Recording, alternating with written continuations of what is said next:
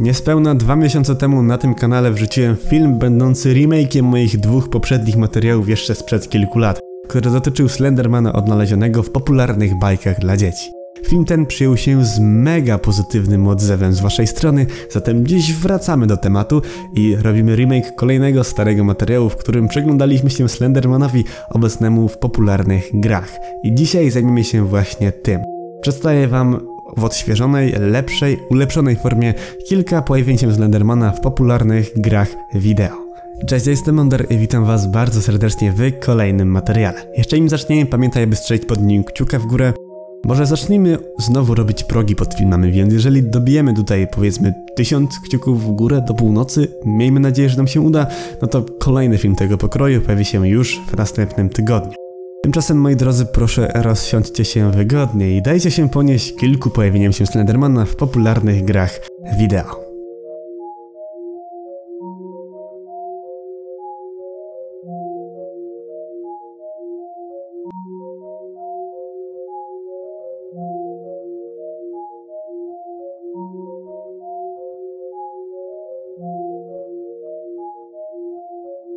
Teraz zabieramy się za kolejnego klasyka w tej materii, czyli za Watch Dogs. Jest to gra, która zadebiutowała w roku 2014, a wydało ją studio Ubisoft, znane m.in. z serii Assassin's Creed Kocham.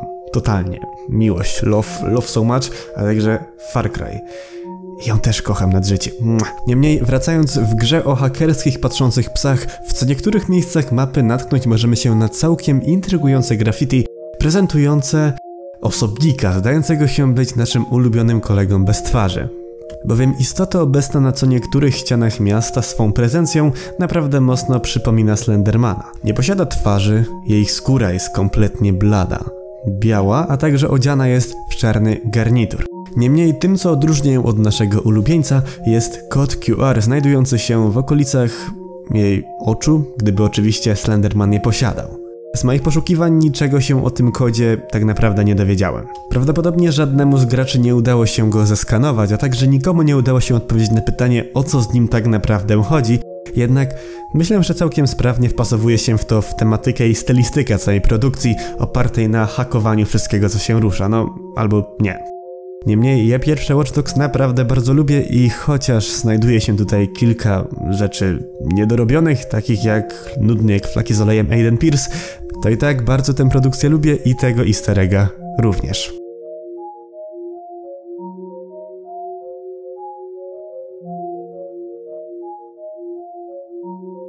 Teraz zajmiemy się Slendermanem odnalezionym w grze pod tytułem Runner 2, w którą nigdy nie miałem przyjemności zagrać.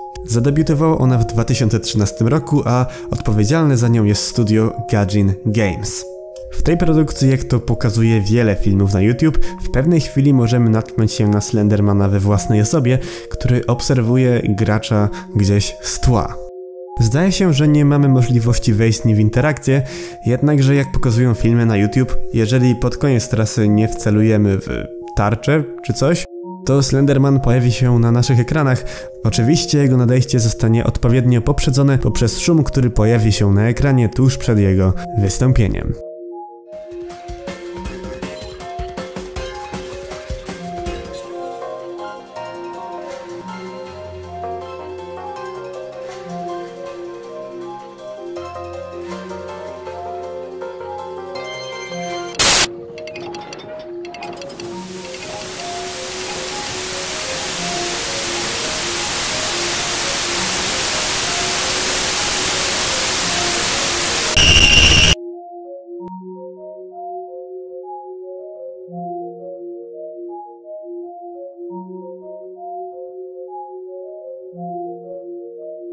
Teraz rzucimy okiem na easter egga, który został odnaleziony w jednej z map w trybie multiplayer gry Call of Duty Modern Warfare 3 wydanej w 2011 roku przez Activision.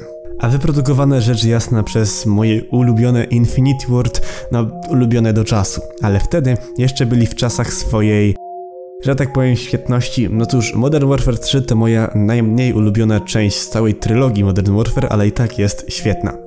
Mocno polecam wszystkim. Naprawdę. W 2012 roku użytkownik Fatal Steven na swój kanał na YouTube opublikował film, w którym rzekomo odnalazł easter egga związanego ze Slendermanem na mapie Fallen właśnie w MW3.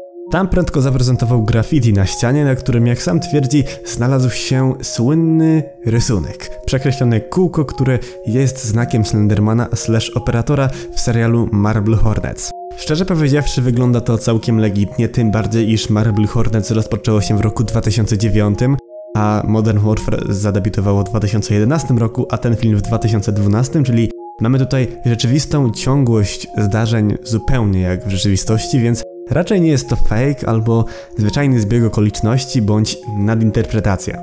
Niemniej dajcie mi znać w komentarzach, co wy o tym sądzicie.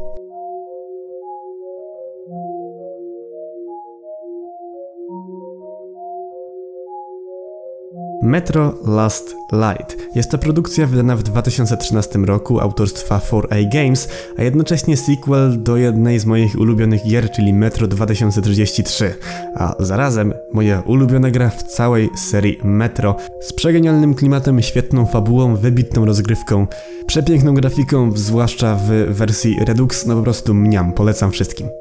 Co do tej produkcji, naprawdę mnóstwo osób w internecie publikowało masę filmów, w których twierdzą, iż Slenderman pojawia się w właśnie tej produkcji. Niemniej co niektórzy doszukali się co bardziej rzetelnych faktów. Otóż na powierzchni znajduje się kilka starych, zniszczonych billboardów, a na jednym z nich znajduje się dość osobliwy manekin?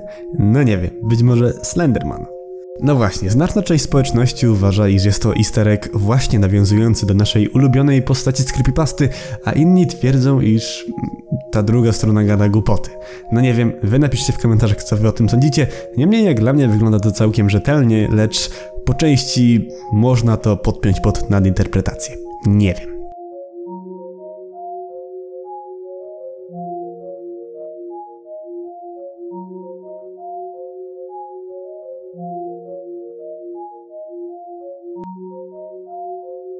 A słowem końca możemy chyba poświęcić chwilę tym wszystkim grom o Slendermanie, które powstały na bazie, dosłownie jak grzyby po deszczu narosły po premierze Slender The Eight Pages.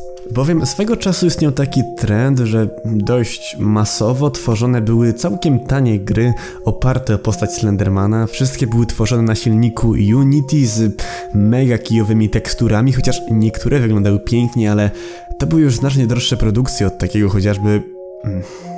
Slender must... Do... Nie, dobra, tego, tego, tego się nie tykamy. Pamiętam jeszcze jak miałem te 11-12 lat, to na swój telefon pobierałem te wszystkie darmowe produkcje i się nimi jarałem. Najbardziej w pamięć zapadły mi Slenderman Origins, te gry były mega, mega dziwne, jakieś kurde gotyckie, nie wiadomo co, przynajmniej jedynka była gotycka z tego co pamiętam, dwójka chyba też, a trójka nagle była w jakiejś szkole i wszędzie tam znajdowały się obrazy podwędzone z internetu, nie wiem. Nie wiem, ciężki gnój, naprawdę mega dziwne rzeczy. Jeżeli byście chcieli, no to może w kolejnych odcinkach miałbym się zająć oddzielnym grą na temat Slendermana, właśnie które powstały na przestrzeni minionej dekady. Tak, to właśnie była mniej więcej miniona dekada. Od 2012 roku powstawał szereg podrób tej pierwszej oryginalnej gry. Chociaż jakby nie patrzeć, mimo wszystko jeszcze przed 2012 pojawiła się inna produkcja o nazwie Slender Invasion, jednak w porównaniu do takiego The Eight Pages to była to totalnie inna rzecz. Jeżeli chcecie, możemy zająć się tym w kolejnych materiałach, a tymczasem moi drodzy to już ode mnie byłoby na tyle w dzisiejszym materiale. Jeżeli Ci się spodobał, to pamiętaj, aby strzelić pod nim kciuka w górę, a także zasubskrybować kanał, jeżeli jesteś tutaj nowy. Zapoznaj się z moimi poprzednimi filmami, wyczekuj również tych następnych, a także wpadaj na mojego Instagrama, Discorda i całą resztę. Wszystkie linki macie w opisie.